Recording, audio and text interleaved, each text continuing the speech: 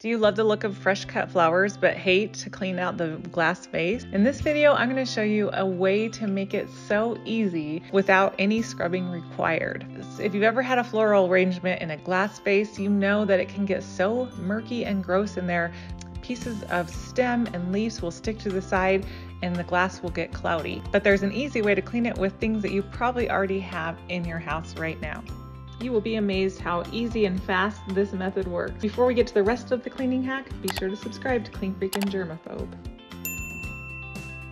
All you need to do is get some white vinegar and you want to fill it to the line where you have the stains on your vase. The next step is to let it sit overnight or for several hours to loosen all the stuff and do its magic. Looks like it's loosened up stuff.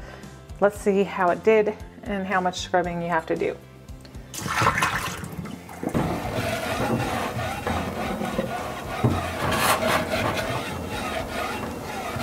Normally I have to really scrub to get that off.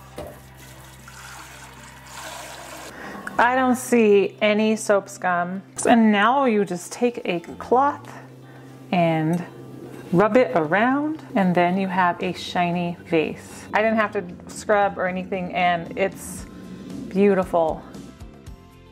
As you can see, all the hard water deposits, scales, everything is gone now. And I hardly had to do a thing and it's way shinier. I put it in the dishwasher, washed it by hand. It took so much scrubbing and it still didn't look this good.